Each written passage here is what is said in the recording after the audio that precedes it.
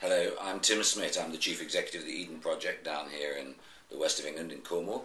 Uh, and uh, we're having a conversation today uh, as part of the 21st Century Challenges series to look at uh, what constitute resilient societies and what sustainability might look like in a Britain of the future. My particular interest is language and vision, the need for a narrative that makes us, in this small island country of ours, uh, believe in a future worth having.